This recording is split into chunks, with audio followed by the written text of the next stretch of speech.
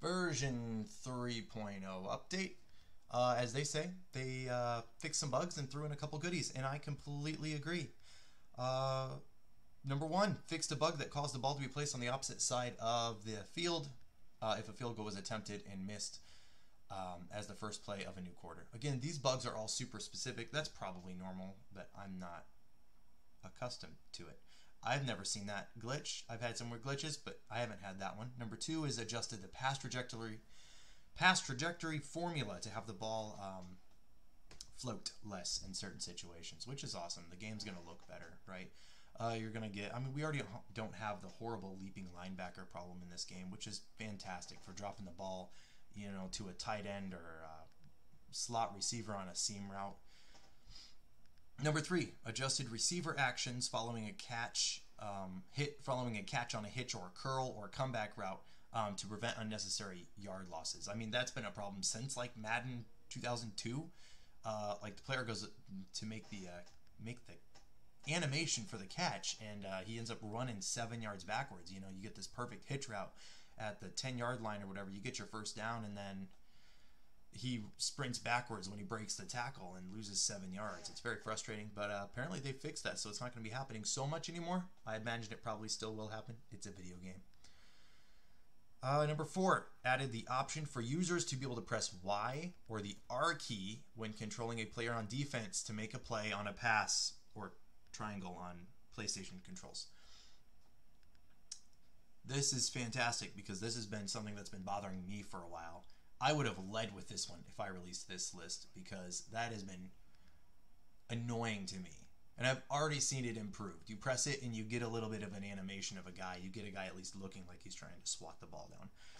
It's fantastic. It's a huge it's it's a small upgrade, but it feels huge in game. Number 5, fixed a bug where the user was sometimes unable to select a player on defense. This happened all the time for me.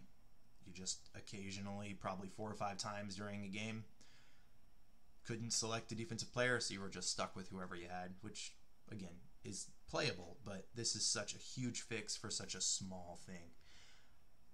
Number six, fixed some pursuit angles that were causing some defenders, especially defensive backs, to under pursue the runner, leading to some large outside gains. Oh my goodness. This is the one that I should have led with. I forgot this one was in here. Um, yes, this is huge. The, I mean, running to the outside is unbelievably easy. And if they've truly fixed that, like this update says, or at least corrected it enough so it's not going to happen constantly, I mean, it's going to make the game 10 times more enjoyable again. Uh, those pursuit angles and like nobody wants to be able to just glitch win throughout the entire entirety of the game. Like everyone wants to have their third and long play for you know big comebacks or whatever, but to just sprint to the outside and have those horribly like those horrible tackle angles. If that's fixed, that's a huge improvement. Uh, I'm thrilled about that one. Number seven, adjusted the effectiveness of the speed burst. I I haven't felt anything different, but uh, yeah, I think that one's just going to take more time playing, and I've only played one game since the update. It's going to take more time playing to really get a feel for what that means. Uh, number eight, fixed a bug where the uh, colliders on the uprights and the field goal nets were not properly colliding with the ball. Number nine, added a QB designed runs to the game. These runs are available in the shotgun, normal, and pistol um, slot formations for AI play calling um, in, for the categorization, categorization purposes of AI play calling. QB runs fall under um, the inside run category.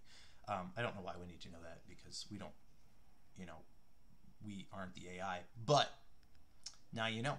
And uh, that's pretty cool, except that quarterbacks, when they cross the line of scrimmage, lose most of their speed. They need to fix that. I probably would have fixed that before I put in the quarterback run plays, but that's fine. Number 10, fixed several issues related to memory leaks that were causing um, crashing in Team Creator. Uh, I never ran into those, but uh, I got a lot of comments on my videos and a lot of messages telling me to tell them about it. I don't have any special connection with them, guys. I just use the Discord like anybody else. I try to link the Discord in all of my videos, so it'll be down there. Um, for those of you expecting the week two update of the Viola Angry Wagons franchise, it's coming. Okay, I've had some crazy stuff happen, and uh, I am editing it right now. I paused to put this video up in the meantime because it's not going to get done tonight. It is coming, and it is a double header for more than one reason, and you'll have to watch the video to find out why. But it's coming. Okay, it'll be there this week. Thank you guys so much for your support. I appreciate it. Have a wonderful day.